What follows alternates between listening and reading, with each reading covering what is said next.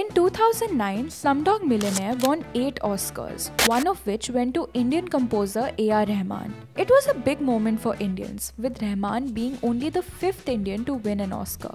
However, there was also an underlying discomfort with a British film representing India, a past colony, for an international audience. Many Indians took offense, calling out what felt like poverty porn and a reflection of Western stereotypes about Indians. A slum dwellers welfare group filed lawsuits against Rahman and Anil Kapoor for violating slum dwellers' rights by depicting them in a bad light.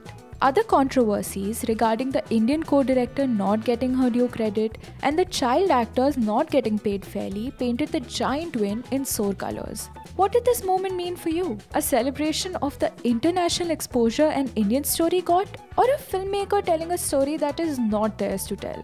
This was our series, That One Moment. Subscribe to the Swaddle for more.